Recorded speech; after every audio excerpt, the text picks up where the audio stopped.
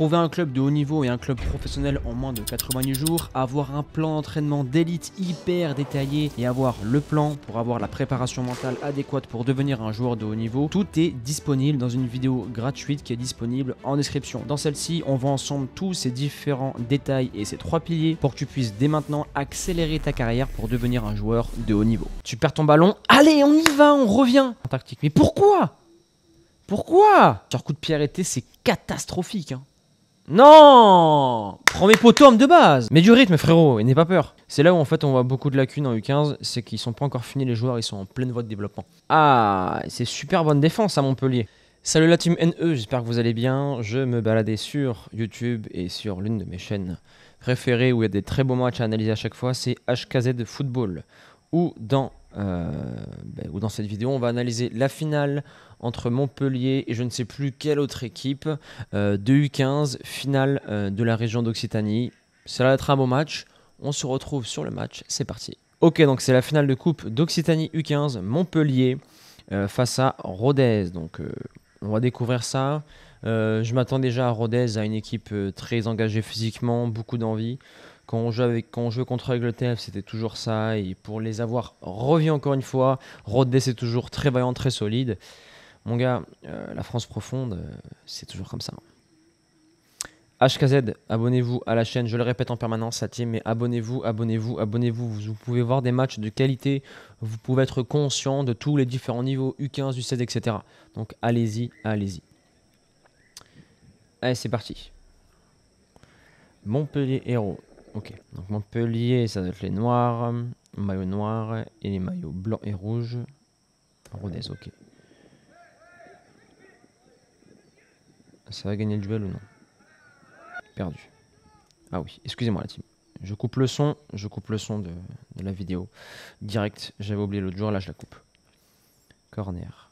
Corner. Donc déjà, tous les joueurs de Montpellier sont bien placés entre le joueur et le ballon. Ça joue le joueur et non la zone. Hop, c'est très mal tiré. Fallait la mettre dans la boîte. Il est hors jeu ou pas? Allez, remet dans la boîte. Voilà. 7 était seul. Ah, le mauvais contrôle. Pourquoi il était seul? Regardez, là c'est une grosse erreur du gardien. Le 7 il part tout seul. Le 6 qui est au marquage. Euh, le 6 qui est au marquage, il doit dédoubler sur celui-là. Et celui-là, il doit descendre d'un cran. Ou sinon, non, tout simplement. Excusez-moi, je dis n'importe quoi. Lui, celui qui est au fond, il sort. Le 6 aussi. Et il le met hors jeu. Regarde, tu vois, le 6, il a pas fait son travail, il n'est pas sorti comme il le fallait. Lui, il sert à rien. Monte. Sortez, les gars. Et là, après, le 7, il est disponible. Même le 6, lui jette un coup d'œil, il voit. Ouais, lui jette un coup d'œil, mais c'est trop tard. Le gardien doit parler. Et c'est là où on voit le niveau. C'est là où on voit le haut niveau ou pas. Regardez le contrôle. Hop Contrôle main. Alors qu'il y a occasion de but. Bien sûr qu'à main. Coup franc dans la boîte, c'est pour gardien facile, ça.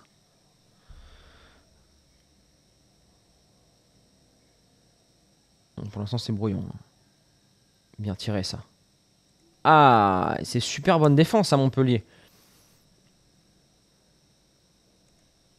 Mec au premier poteau, homme de base. C'est le B à bas. Toujours. Mec au premier poteau, homme de base. C'est comme ça que vous allez sécuriser ben, les ballons de merde comme ça au premier poteau. Regarde, hop. Bon, derrière, il y avait, euh, il y avait du monde, mais bon. Non, ils sont très rigoureux sur le marquage, Montpellier. Hein. C'est très propre. Allez, transition. Mets du rythme. Ça arrive d'eau. Ça arrive d'eau. Allez, on sort, les gars, on sort. Le problème, c'est que c'est U15, hein, c'est pas niveau 17 ou 19, donc techniquement, ça risque pas d'être très beau. Il y a, qu'un retrait, il a qu'un retrait.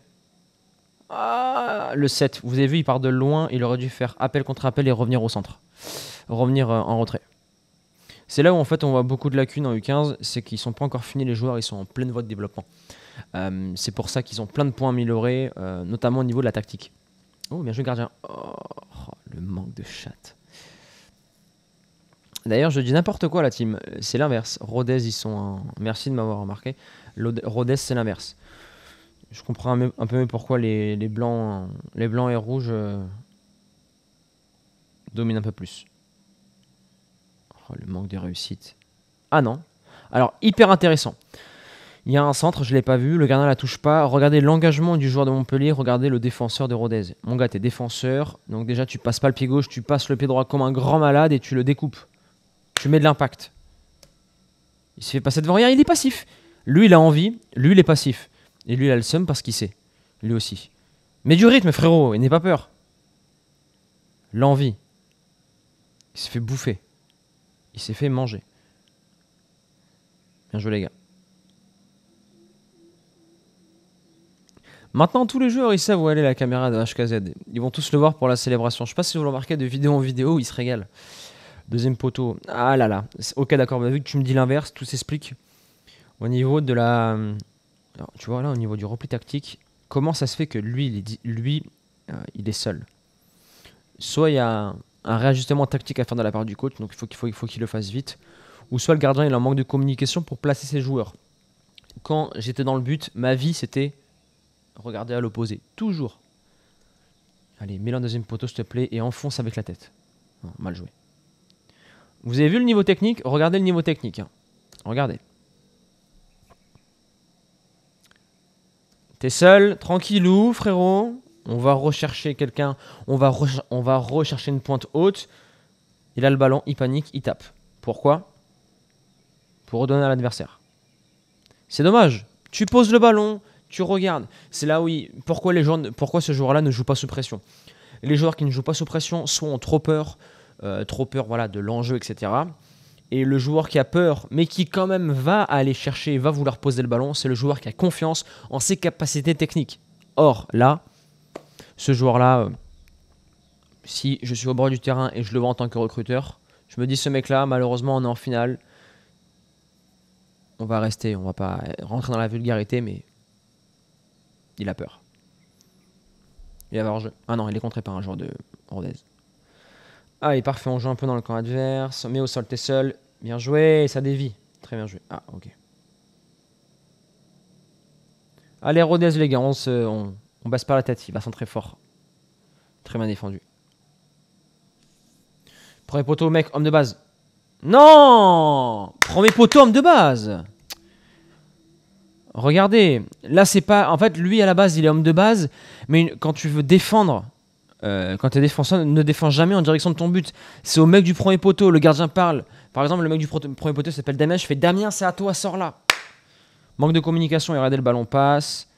Hop, lui derrière, il peut pas mettre sa main. Le gardien il passe et lui suit, voilà. On va regarder le mouvement de troupe. Regardez, regardez la différence entre un joueur de Rodez et un joueur de Montpellier c'est que le mec qui a marqué là, lui, il a cru. En fait, il faut toujours se dire qu'il y a toujours un petit pourcentage de carottes. Ça peut le faire. Regardez le joueur de Montpellier. Il est là, il croit à la carotte, il est seul, tout le monde est euh, en train de cueillir des fraises. Hop, but. Ah mais là, tactiquement, sur coup de pied arrêté, c'est catastrophique. Hein.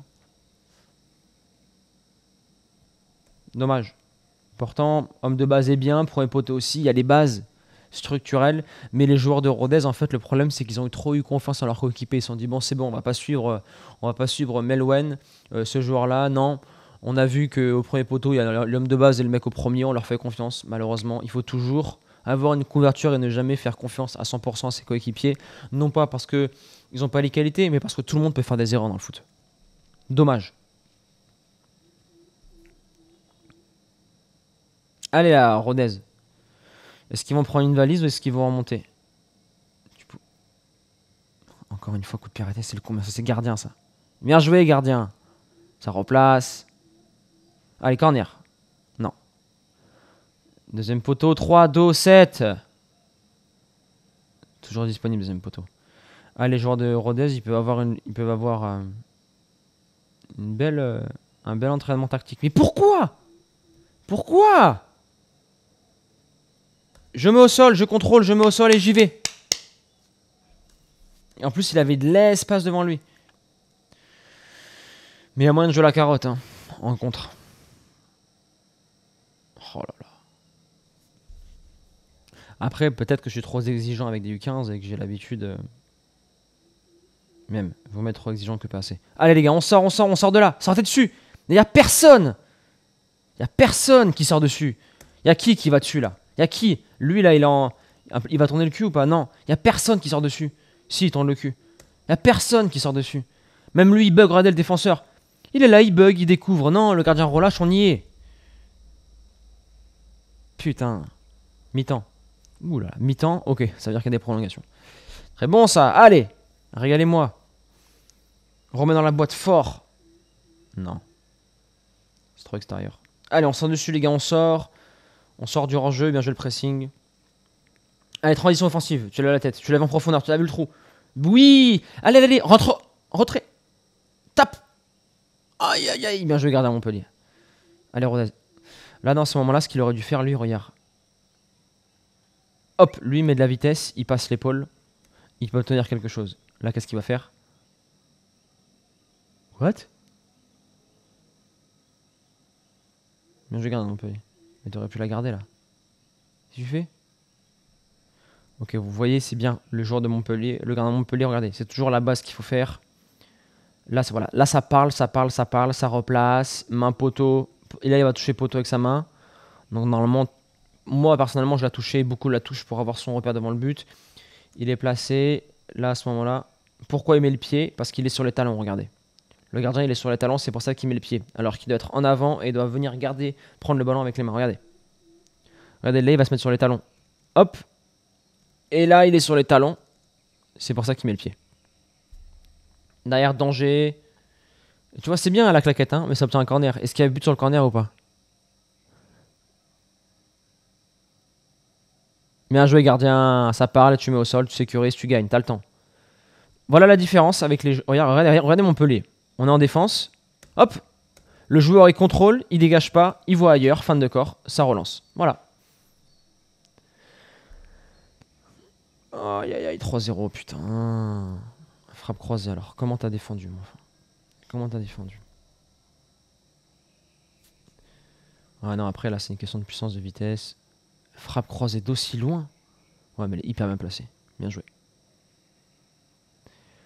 Ah, c'est l'efficacité d'Empelier. Hein. Là, Rodez, faut pas lâcher. C'est une finale. Bien joué, célébration. Physiquement, ils sont au-dessus. Fin de match, ça va être dur. Par l'échauffement. Ah, le contrôle. Il passera pas.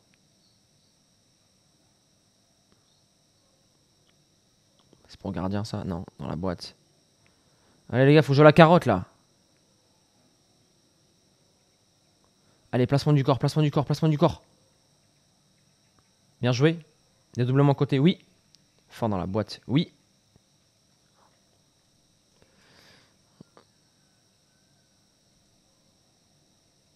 Ouais, la hauteur du genou, elle est dure à prendre. Mais ce qui est bien, c'est qu'il avait bien placé le corps. Très bien. Dommage. Allez, vos pressing, vos pressing, presse. Penalty Non. Allez, les tape. Ils peuvent mettre leur but. Hein. S'ils mettent le but, Rodé, ça doute en face.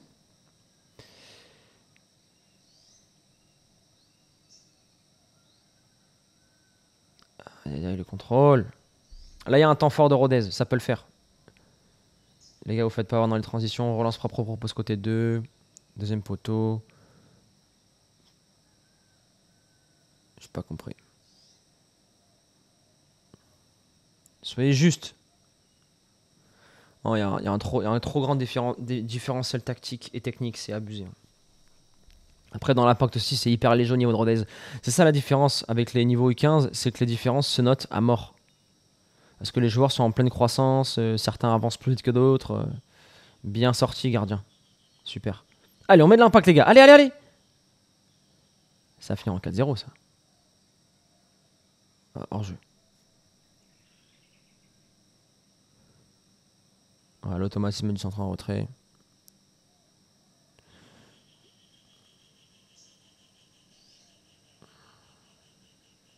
Va le bouffer. Lui, il est hyper développé pour son âge. Bien joué, la passe extérieure, ça rentre, il passe l'épaule, il a plus envie le joueur de Montpellier. Ok, 4-0, ça va être une branlée. Regardez, ça s'est vu direct, je l'ai dit, il a plus d'envie. il s'est fait démonter dans le duel. Donc, toi, bonne passe extérieure, t'as de, la, as de la réussite. Regardez, il pousse le ballon loin. Normalement, le 2, tu viens à l'épaule, tu le bouges. Non, il s'est fait bouger de A à Z. Et le gardien, malheureusement, le moment où il se développe, c'est le moment où il est en train de courir. But 4-0. Ah, ça va être une boucherie. Hein. Je pense que ça va partir sur une manita. Regardez, là, je suis. J'ai envie de crier. Tu perds ton ballon. Allez, on y va, on revient. C'est là où, quand un maillon commence à lâcher, indirectement, ça montre aux autres, les gars, on est en train de perdre, on arrête. Non, allez, on y va. Lui, dans bonne position de défense, il met le bras, il l'embête, il l'emmène sur le côté. Bien, je veux bien défendu 6. Allez les gars, pour l'honneur, on marque un but là. Ouais, voilà, tu... Marc, s'il te plaît, t'es en train de surface de réparation, ouvre bien. Oh non. Vous voyez l'envie du, mec de Montpellier, regardez. Regardez l'envie, il vient, mais même... Bon, là pour moi, il vient un peu trop méchamment avec la semelle, il peut lui faire mal, mais regardez, bam, il y est. Allez, mets du rythme maintenant. Ah, je vois ce qu'il voulait faire, l'extérieur. Allez, remets au sol, remets au sol, remets au sol. Tête, oui. Passe l'épaule, dommage. Il pas, y a pas faute, hein. Là, j'ai pas compris pourquoi. Tape, maintenant, fais la passe. Vous avez vu, il a fait un appui de trop, c'est trop lent, il perd la balle. Ah, mais ils se font complètement démonter physiquement, et là, physiquement, ils sont... Euh, mentalement et physiquement... Ben voilà, ils sont brisés, hein. Ils vont en prendre un cinquième, je pense. Des moi qui croyais qu'elle allait avoir les prolongations. non, il y a un trop gros différentiel. C'est... Entre les deux équipes, c'est monstrueux. Gardien sécurise, voilà. Ouais, fin du match, 4-0. C'est mérité. Et donc là, la team, c'est la première fois que je vois un écart aussi grand. Donc vous avez vu dans tous les moindres détails, il n'y a aucun leader à Rodez qui a réveillé l'équipe. Donc je la mets en caméra comme ça. Il n'y a aucun leader à Rodez qui a réveillé l'équipe à un moment ou à un autre. Euh, c'est trop faible techniquement euh, pour ressortir propre. Euh, ça ne s'est pas juste sous pression malheureusement à Rodez. Euh, parce que quand on joue contre une équipe professionnelle et on sait qu'ils sont meilleurs que nous, il faut au moins savoir ressortir proprement un ballon qui soit court ou long pour jouer les carottes en transition offensive. Or Rodez, ben, ça jouait pas en appui devant, il n'y avait pas de neuf qui décrochait. même quand ils ont eu des occasions, des contrôles étaient ratés, ça n'allait pas assez vite. On voit qu'il y a un manque d'expérience dans le placement, notamment sur les ballons aériens.